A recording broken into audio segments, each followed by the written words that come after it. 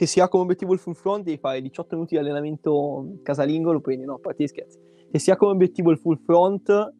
lavorare in advance o straddle con un angolo tra braccio e busto leggermente più chiuso per simulare l'angolo del full potrebbe essere una buona idea. Allora, quindi utilizzare la stessa leva di sbilanciamento che in full. Ottima cosa che mh, il fatto che tu guardi la leva di sbilanciamento perché alcuni in advance hanno una leva che è completamente diversa dal full. Qua ti dico, dipende, perché ho visto che tante persone hanno un attimino travisato quello che sono alcune informazioni che ho detto rispetto a questo. Cioè non è che, cioè dipende anche da quanto tempo tu alleni il front. Se tu non hai mai fatto volume in advance, devi fare advance a corpo libero, se vedi che hai fatto tanto tempo advance a corpo libero, non riesci minimamente a uscire dallo stallo, ci sta che magari vai a mettere dei lavori con delle loop con intensità più avanzate per abituarti a una leva nuova. Se invece tu cioè, stai lavorando in advance a corpo libero, in advance hai la stessa leva del full front, e io ti consiglio di fare tanto volume sull'advance perché tanto vai ad abituarti più o meno alla stessa leva, alla stessa leva del full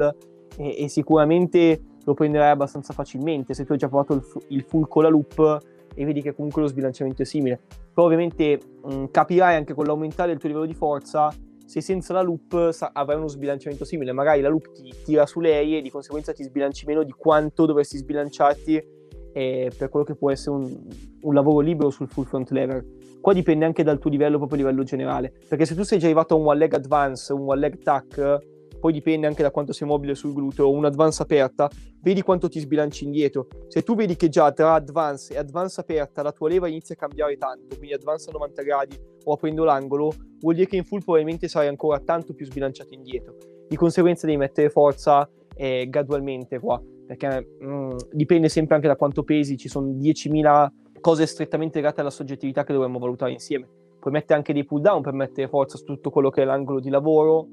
e dipende sempre da quello che è la tua casistica. Però ci può stare on